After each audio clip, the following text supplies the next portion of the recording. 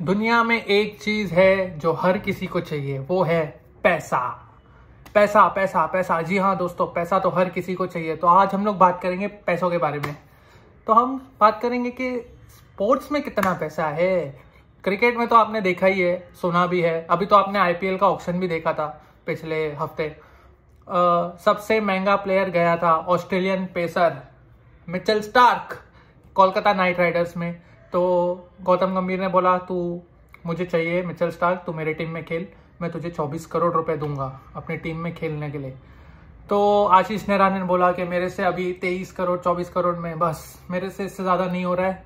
ले लो ले लो के, क्या तुम लोग ले लो। गौतम गंभीर, तू ले ले प्लीज़ तो वो मिचल स्टार्क एक ऐसा प्लेयर है, जिन्होंने आईपीएल को कभी प्रायोरिटी ही नहीं दी है अपनी, कभी प्रायोरिटी नहीं दी है। उसने हमेशा अपनी कंट्री को प्रायोरिटी दी है फ़र्स्ट और हमेशा अपनी कंट्री को पहले रखा है। जब लोग आईपीएल खेलते हैं तो वो वर्ल्ड कप में वर्ल्ड कप की प्रिपरेशन करता था।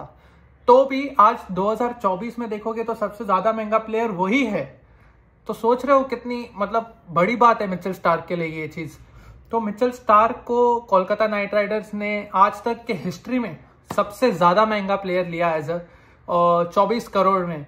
तो हम अगर बात करें फुटबॉल की तो फुटबॉल का जो मोस्ट एक्सपेंसिव प्लेयर है आज तक का वो है उसका नाम मैं ट्रांसफ़र की बात कर रहा हूँ रिचेस नहीं बोल रहा हूँ ट्रांसफ़र जैसे मिचल स्टार्क यहाँ पे आया है आ, तो फिर वैसे ही एक फुटबॉल में है वो था नेमार जूनियर 2017 में था आई थिंक ये transfer two hundred and twenty two million यानी कि अगर आप इंडियन रुपी में देखोगे उस पैसे को देख भी पाओगे कि नहीं मैं तो नहीं देख पाऊँगा। दो हज़ार तीस करोड़, दो हज़ार तीस करोड़ में नेमार ने अपना ट्रांसफ़र करवाया था। बार्सलोना टीम है एक स्पेन की, उससे पीएसजी में गया था, पेरिस, जो फ्रांस में आता है।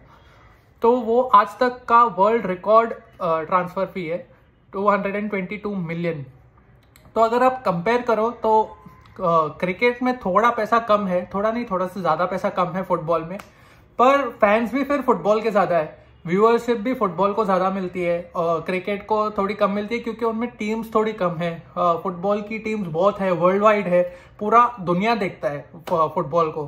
तो व्यूअरशिप की भी अगर बात करें तो फुटबॉल को बहुत ज़्यादा है और क्रिकेट को थोड़ी कम है क्योंकि उसमें टीम्स कम है और इंडिया में ही हम लोग इतनी पॉपुलेशन है जो क्रिकेट फॉलो करते हैं तो वही आधे से ज़्यादा तो वही उनको व्यूअरशिप देता है इंडियन लोग जो देखते हैं क्रिकेट तो और अगर पैसों की बात करें तो हाँ ये बात है कि नेमार जो है उसमें वो पूरा साल खेलेगा, अपने कॉन्ट्रैक्ट में खेलेगा। और मिचल स्टार्क जो है वो सिर्फ़ चौदह मैचेस खेलेगा। चौदह मैचेस खेलेगा कितने में? चौबीस करोड़ में। हाँ तो उसको समझ रहे हो आप, एक बॉल का उसको मिलेगा सात लाख रुपए। वो अपनी जो एक बॉल चलाएगा ना आईपीएल उसमें वो सात लाख रुपए मिलेंगे उसको एक बॉल चलाने के।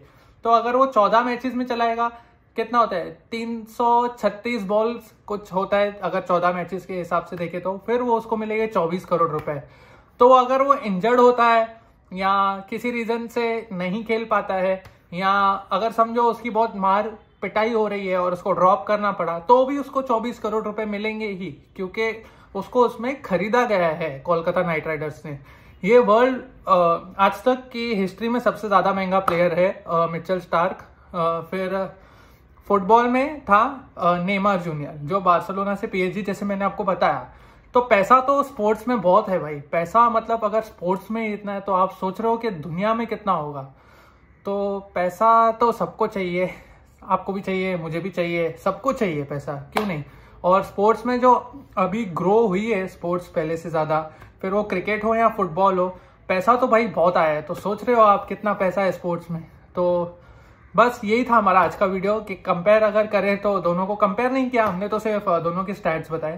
तो फुटबॉल और क्रिकेट के पैसे।